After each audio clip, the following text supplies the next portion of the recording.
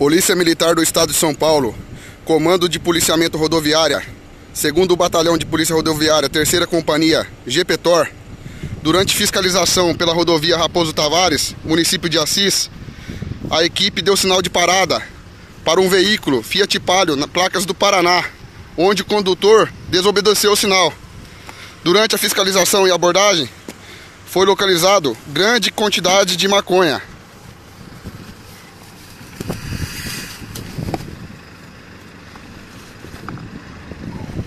Ocorrência em andamento.